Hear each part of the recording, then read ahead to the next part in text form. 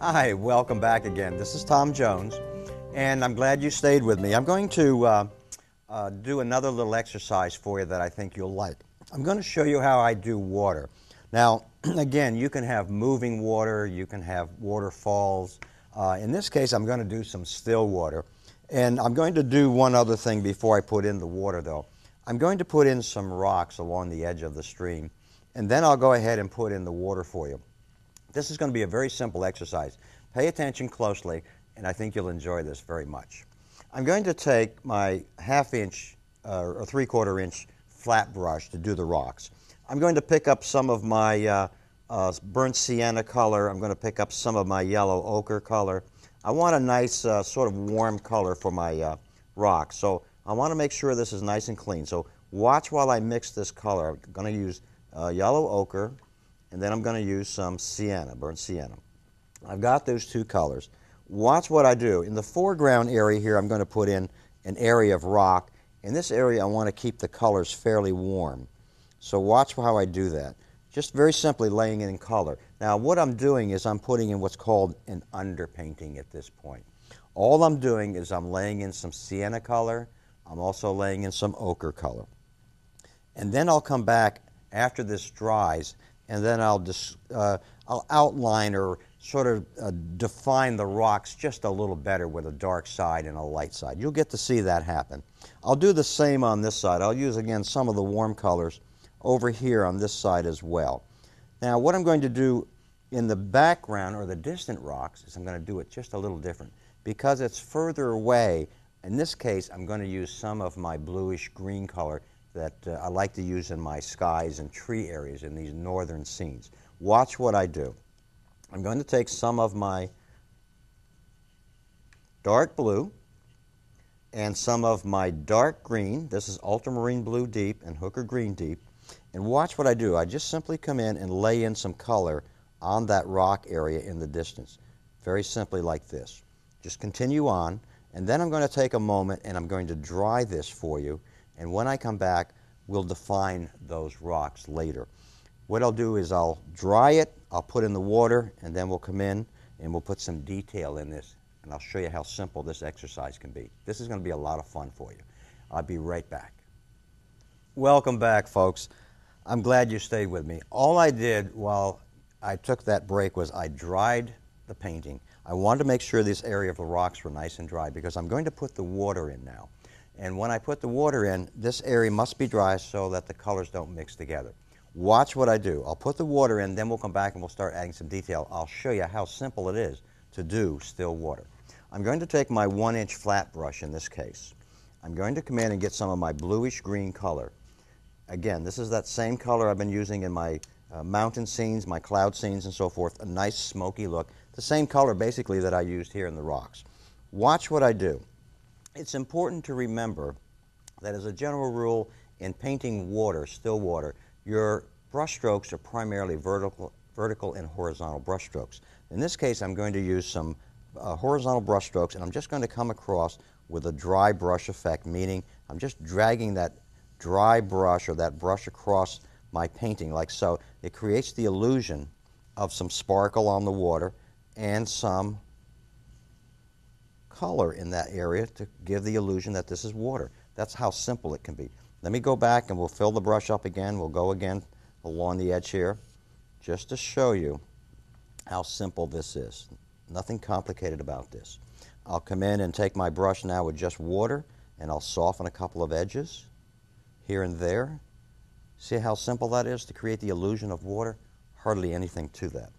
Leave some of the white space. You'll want to leave that white space because it looks like sparkle on the water. Now as I get a little closer, meaning I get to the bottom of the paper here, we're going to give the illusion this is a little closer. I might want to get a little darker here.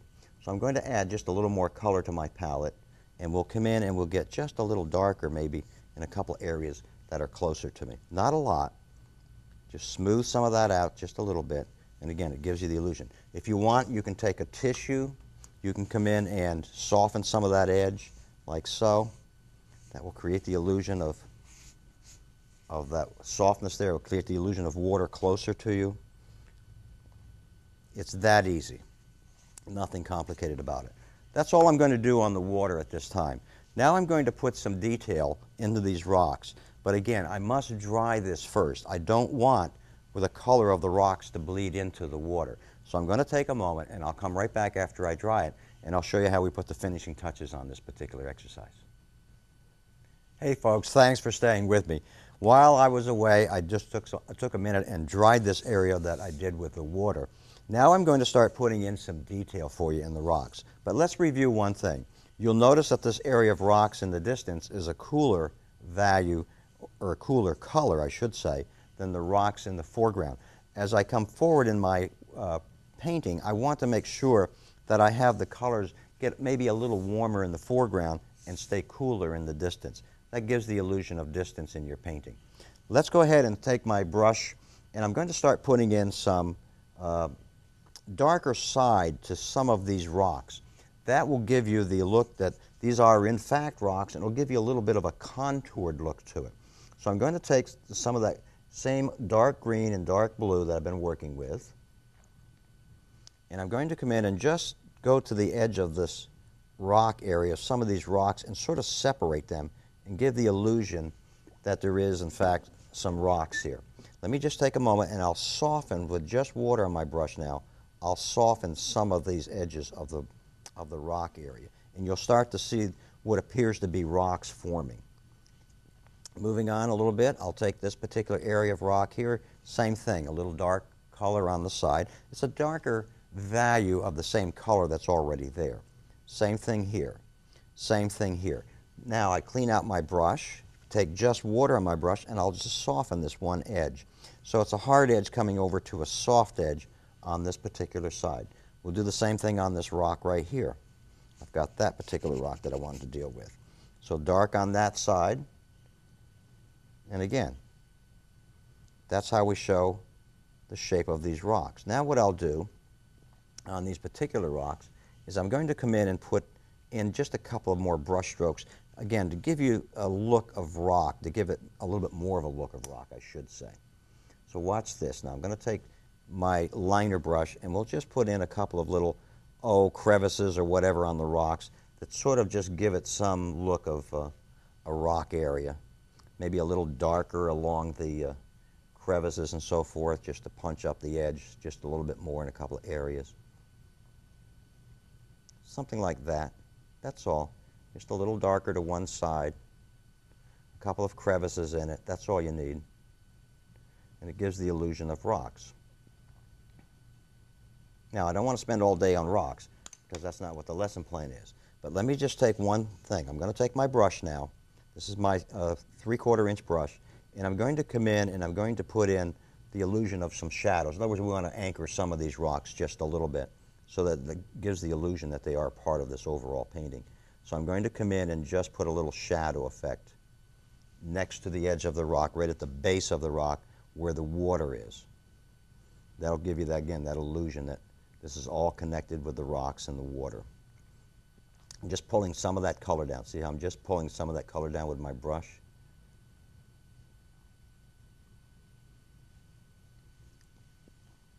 And then if you want, you can pull some down a little bit more, some of that color down just a little bit more. Take your tissue and drag it down a little bit. Pull some of this color down a little farther on some of the rocks. See that?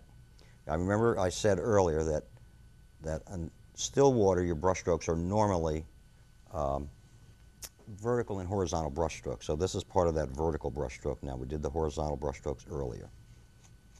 Soften some of the edge. So now it looks like it's connected. I'll let this dry a little bit We'll come back and add a little bit more look of detail with maybe a couple more darks in the areas of the rocks.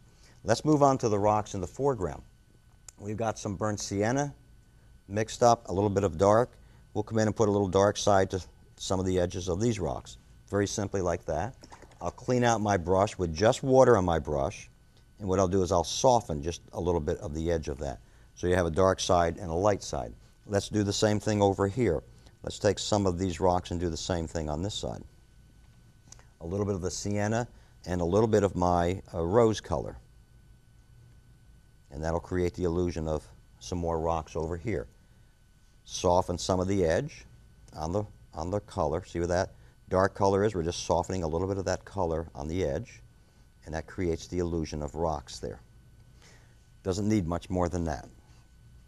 All right, now let me do one other thing. I'm going to put a little area of grass in here for you. This will connect. We got some grass here, some rocks and so forth. And then we'll add a little bit more dark maybe into the back here to sort of anchor the rocks in the water. So you'll see that happen. All right, let's take and do a little bit of the uh, grass area. I'll use a little bit of my light greens. Uh, we'll come in and change color, a little bit of light green. Then I'll come in and maybe do a little bit of my gold ochre just for a little bit of an alternative.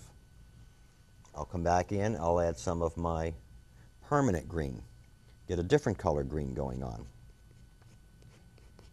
So we'll do that. We'll give the edge of the grass maybe a, a little scraping there to create the illusion of grass in that area. We'll come back over, we'll take and add just maybe a little more ochre to this area right here. You saw earlier where I've used uh, spray bottles. So we can do that in a moment. I'll put some spray bottles to work on this particular painting. We'll create that illusion. Watch this. Just a little bit of a spray bottle. Create some look of textures in the grass this way. We want to change colors, we'll go get the ultra or the hooker green deep and maybe get a little darker in this area. So we've got a little grass area here on this particular side. Now what I want to do, I may take just a moment and go ahead and dry this one more time and then what I want to do is maybe come back here and anchor these. But before I do that, let me do one other thing. I want to come back and show you how we can create the look of the shape of these rocks by adding a darker color behind it. So there's going to be trees or mountains or something back here. So let me go ahead and give you the illusion or the look of some tree area back here. And you'll see these all of a sudden jump out. These rocks jump out for you. Again, going back to my nice dark rich color of blues and greens. And all I'm doing, this is called negative painting now. All I'm doing is I'm coming in and I'm painting the negative space behind whatever the object is. All of a sudden now they're starting to look like rocks over here. See that? Continue on. Paint around the rocks. Keep it simple. Now I'm not getting too elaborate in these demonstrations or these particular examples for you. I want to keep it fairly simple so you can see. But all of a sudden it takes on the look of rocks now. Now watch, watch what happens now when I come up and I can create the look of trees here behind this particular area.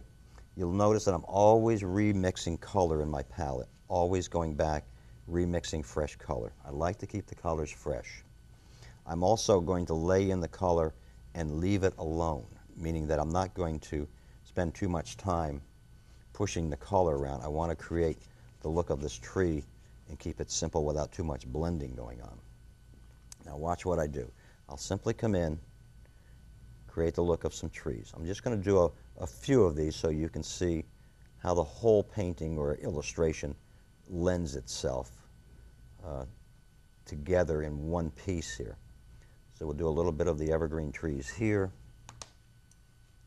I think we'll do enough here so that you can see basically how this all fits into a painting. But notice how now the water starts to make sense to you when it's all anchored with the rocks and so forth. Let me see how dry that is. I may want to come back in, as I said earlier, and just punch this up a little bit with a little bit more dark in just a couple of areas on my rocks. So let me give that a try. Let's take just a couple of areas and just add just a little more, just a little more color for a couple of areas. Now what I'll do is just water on my brush I'm going to, again, blend, blend that color just a little bit. Now you don't want to do this everywhere, but certainly in a couple of areas, I want to highlight these rocks a little stronger. And that's a way of doing it. See that? Again, just a little darker. A couple of areas, and that's all it will take.